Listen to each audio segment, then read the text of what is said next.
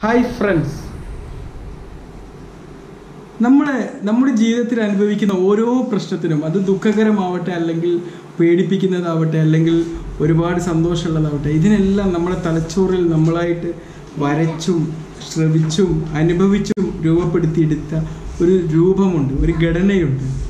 പലപ്പോഴും നമ്മളത് ഇപ്പോൾ ഈ ഘടനയാണ് നമ്മളോടൊരു മാപ്പായിട്ട് നമ്മൾ കാര്യങ്ങൾ വിശകലനം ചെയ്യുന്ന അല്ലെങ്കിൽ നമ്മുടെ ജീവിതത്തിൽ ഓരോ സമയവും അനുഭവിക്കുന്ന ഓരോ പ്രശ്നങ്ങളുടെ ഒരു രൂപരേഖയായിട്ട് നമ്മൾ സൂക്ഷിച്ചു വെച്ചിരിക്കുന്നുണ്ടായിരിക്കും ഈ ഘടന നമുക്ക് എപ്പോൾ വേണമെങ്കിലും മാറ്റി വരക്കാൻ പറ്റും എന്നുള്ളതാണ് നമുക്ക് മുമ്പിലുള്ള ഏറ്റവും വലിയ ഒരു സാധ്യത എന്ന് പറഞ്ഞു കഴിഞ്ഞാൽ.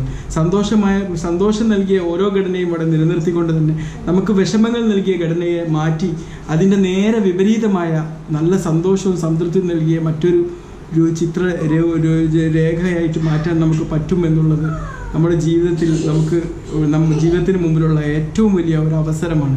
പലപ്പോഴും നമ്മളിത് ഉപയോഗിക്കാൻ ശ്രമിക്കാറില്ല എന്നുള്ളത് ഏറ്റവും വലിയ സത്യാവസ്ഥ.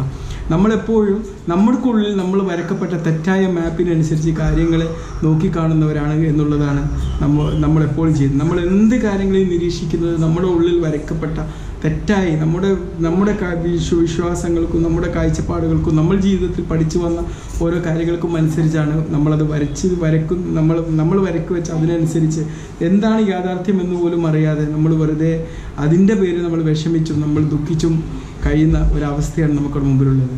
അപ്പോൾ നമുക്ക് എങ്ങനെ ഇത് ഈ ഘടന മാറ്റാം എന്നുള്ളതിന്റെ രണ്ട് ടെക്നിക്ക് നിങ്ങളുടെ മുമ്പിൽ പറയാനാണ് ഈ ഇന്നത്തെ ഈ അവസരം ഞാൻ ഉപയോഗപ്പെടുത്തുന്നത്. ഇപ്പം ഞാൻ നിങ്ങൾ പറയാം നിങ്ങളോട് പറയാം. നിങ്ങൾ ഉദാഹരണത്തിന് നിങ്ങൾ നിങ്ങളുടെ വീട്ടിൽ നിന്ന് ജോലി സ്ഥലത്തേക്ക് ഇങ്ങനെ വരിക. ഒരുപാട് പ്രശ്നങ്ങൾ തലയിലേറ്റിക്കൊണ്ടാണ് നിങ്ങളിങ്ങനെ വരുന്നത്. അല്ലെങ്കിൽ ജോലി സ്ഥലത്ത് നിന്ന് വീട്ടിലോട്ട് വരികയായിരിക്കാം. അപ്പോൾ ഒരുപാട് പ്രശ്നങ്ങളുമായിട്ടാണ് വരുന്നത്. നിങ്ങളൊരു ബസ്സിലാണ് ഇങ്ങനെ യാത്ര ചെയ്യുന്നത്.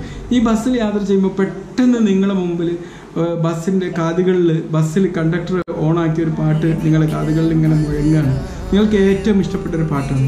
അപ്പോൾ ഈ പാട്ട് കേട്ട പാടെ തന്നെ നിങ്ങൾക്ക് ചിലപ്പോൾ നിങ്ങളുടെ വിഷമത്തിന്റെ അവസ്ഥ പത്തിൽ പത്തൊക്കെ ആയിട്ട് വരുന്ന അവസ്ഥ അതിങ്ങനെ കുറഞ്ഞു കുറഞ്ഞു വരുന്നത് കാണാം. ഈ പാട്ട് നിങ്ങളുടെ ചിന്തയെ മറ്റൊരു തലത്തിലേക്ക് കൊണ്ടുപോകുമ്പോൾ ഈ എന്താണ് സംഭവിക്കുന്നത്?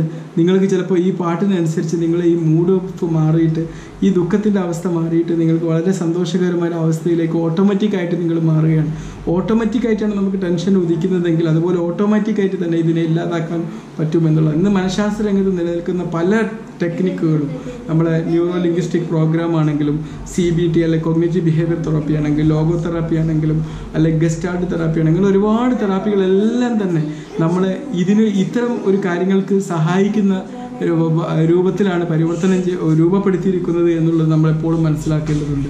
അപ്പോൾ നിങ്ങൾക്ക് മുമ്പിൽ രണ്ട് ടെക്നിക്ക് ഞാൻ പറയാൻ ഉദ്ദേശിക്കുന്നത് കഴിഞ്ഞാൽ ഒന്ന് നമ്മൾ മൂവി മ്യൂസിക് ടെക്നിക്കാണ് മൂവി മ്യൂസിക് ഞാൻ ഈ പറഞ്ഞതുപോലെ നിങ്ങളുടെ ജീവിതത്തിൽ അനുഭവിച്ച ആ പ്രശ്നത്തെ ഒരു നിമിഷം നിങ്ങൾ ഇങ്ങനെ നിങ്ങളെ കണ്ണ് മുമ്പിൽ കണ്ണിന് മുമ്പിൽ ഒരു മൂവിയായിട്ട് ഇങ്ങനെ കാണും.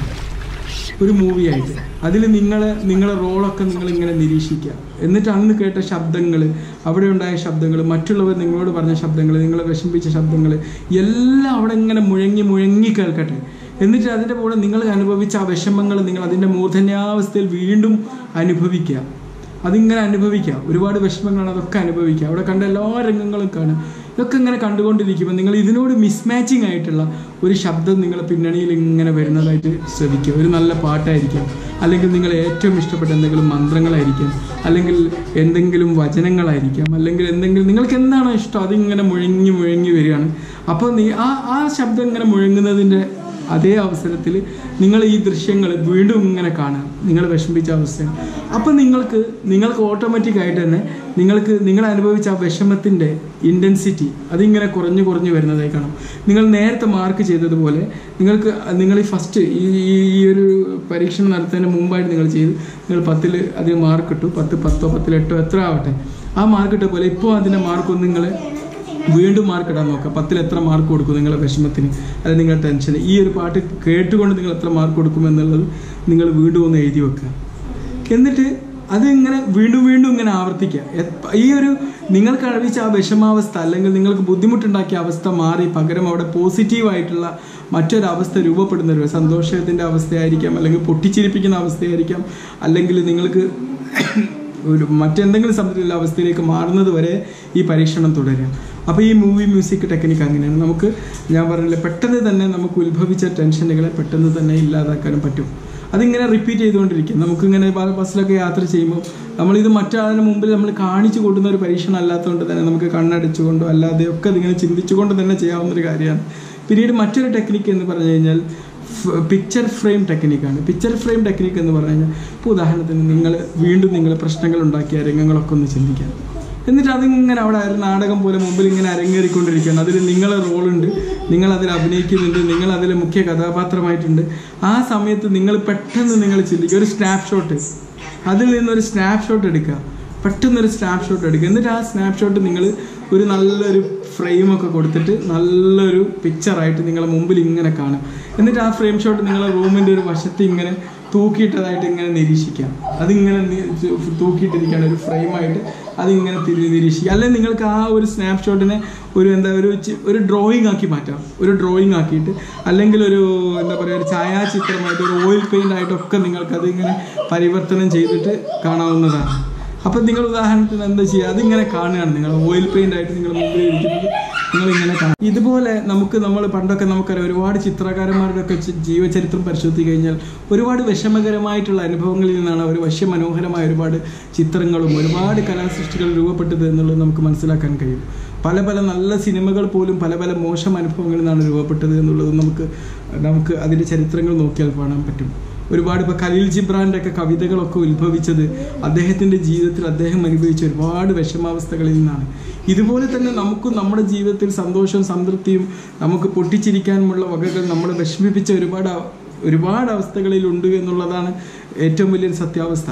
അന്ന് കലാകാരന്മാരെ കലാപരമായിട്ട് ചെയ്തെങ്കിൽ നമുക്ക് നമ്മുടെ മൈൻഡ് പവർ ഉപയോഗിച്ചുകൊണ്ട് ഇതേ ഒരു അവസ്ഥ രൂപ രൂപപ്പെടുത്തിയെടുക്കാൻ നമുക്ക് സാധ്യമാവും. ഇതുപോലെ ഞാൻ ഇന്ന് പറഞ്ഞ ഈ രണ്ട് ടെക്നോളജി ടെക്നിക്കും മൂവി മ്യൂസിക് ടെക്നിക്കും അല്ലെങ്കിൽ പിക്ചർ ഫ്രെയിം ടെക്നിക്കും ഉപയോഗിച്ച് നിങ്ങൾ ഇന്ന് തൊട്ട് ഇതിനു വേണ്ടി തയ്യാറാവുക. ഇതൊന്ന് പരീക്ഷിച്ച് നോക്കുക. ഇതിന് ഇതിൽ നിന്ന് നിങ്ങൾക്ക് കിട്ടുന്ന അനുഭവങ്ങൾ നമ്മളുമായിട്ട് പങ്കുവെക്കുക. നമുക്ക് നമുക്ക് കൂട്ടായി ഇത്തരം നമുക്ക് പറഞ്ഞില്ല എപ്പോഴും നല്ല സന്തോഷവും സംതൃപ്തിയും സമാധാനവും നിറഞ്ഞ ഒരു ജീവി മാനസികാവസ്ഥ നിലനിർത്തിക്കൊണ്ട് ഓരോ നിമിഷവും ജീവിക്കാൻ നമുക്ക് സാധ്യമാവുന്നതെല്ലാം നമ്മുടെ ജീവിതത്തിൽ എന്തൊക്കെ ടെക്നിക്ക് ഉണ്ടോ അതൊക്കെ നമുക്ക് ചെയ്യാം. ഇനിയും ഒരുപാട് ടെക്നിക്കുകൾ നിങ്ങളുമായിട്ട് പങ്കുവെക്കാനുണ്ട്. മറ്റൊരു വേളയിൽ ഞാൻ നിങ്ങളുമായിട്ട് പങ്കുവെക്കും. എല്ലാവരും ഈ ടെക്നോളജി അപ്ലൈ ചെയ്തിട്ട് അതിന്റെ ഫലം നമ്മളുമായി പങ്കുവെക്കുമെന്ന് ഞാൻ വിശ്വസിക്കുന്നു. ഇതിനെക്കുറിച്ച് കൂടുതൽ ഡീറ്റെയിൽസ് നിങ്ങൾ അന്വേഷിച്ച് പഠിച്ച് വീണ്ടും ഇതിലും നല്ല ടെക്നോളജി നമുക്ക് പങ്കുവെക്കുമെന്ന് ഞാൻ ആഗ്രഹിക്കുന്നു. എല്ലാവർക്കും ഇതുപോലെ നിങ്ങളുടെ ജീവിതം എന്തൊക്കെ പ്രശ്നങ്ങൾ അനുഭവിച്ചിട്ടുണ്ടോ? ആ പ്രശ്നങ്ങളെല്ലാം നിമിഷ നേരം കൊണ്ട് ഇത്തരം ടെക്നിക്കുകൾ ഉപയോഗിച്ച് പരിവർത്തനം ചെയ്യാൻ സാധ്യമാവട്ടെ എന്ന് ഞാൻ ആശംസിക്കുന്നു. എല്ലാ ആശംസകളും നേരുന്നു.